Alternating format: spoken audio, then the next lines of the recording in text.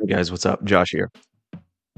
So, today I wanted to talk about making it in art as an introvert without having to shout from the rooftops.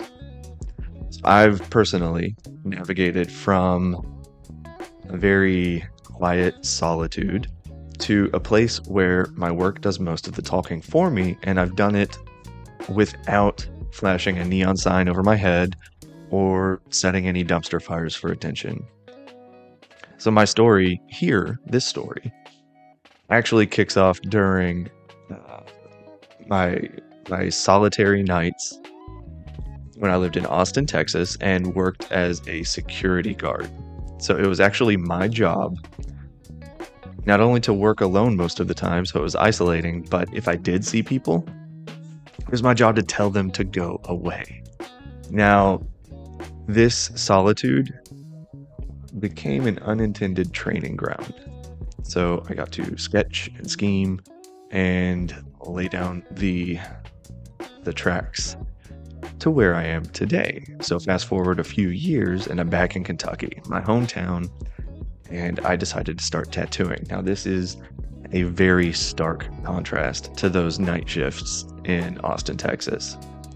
Because had to be seen, not just for me, but because I had to make ends meet for my family. Now, first, this was a real grind because I was starting from scratch in a town that had moved on and forgotten about me. So finding my tribe again meant making connections, and I, I had to let the art lead the way here.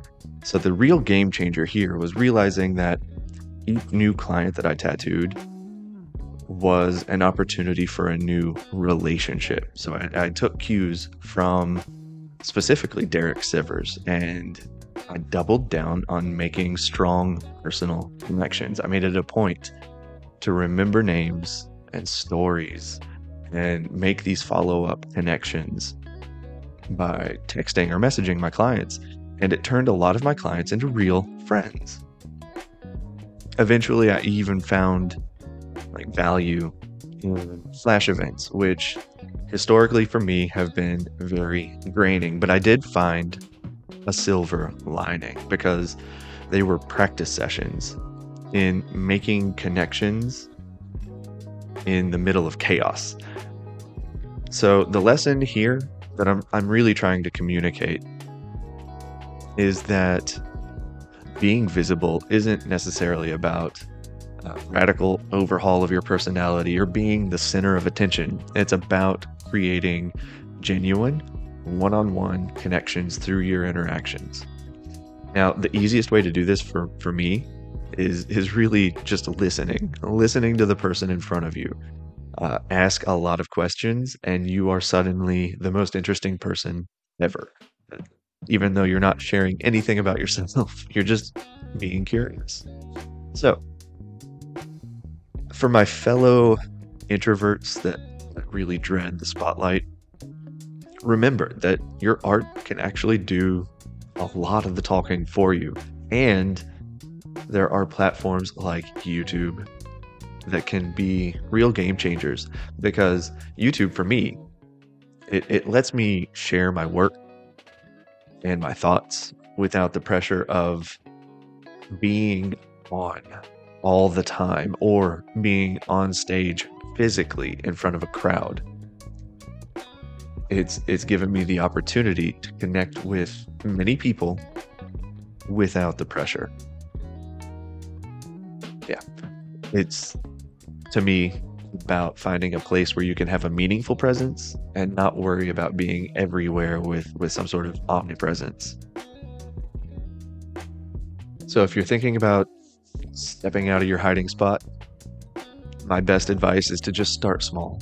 Share one piece of art and start to gather a community because your art it deserves an audience and your insights whatever they are deserve to be shared and and not just for applause or attention but for the real connections that you can make just by sharing your world so it's no small feat to to bare your soul especially through uh, tattoos. That's that's really intimidating. But take it from someone who's been where you are.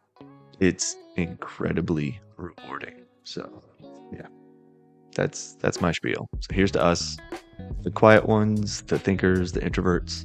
Let's let's commit to bringing our craft into the light, into a spotlight in our own way.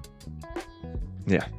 So I'm here because I believe in the impact of, of art and the power of authentic connections. And I really want you to feel that too. So if this journey resonates with you at all, jump on into the comments and let's keep the conversation going. Uh, if you enjoy my insights, don't forget to like, share, and subscribe. And remember, keep creating, keep connecting, and most importantly, stay true to who you are as a person, not just an artist. So until next time, keep drawing, painting, writing, singing, or dancing your hearts out, and we'll talk soon.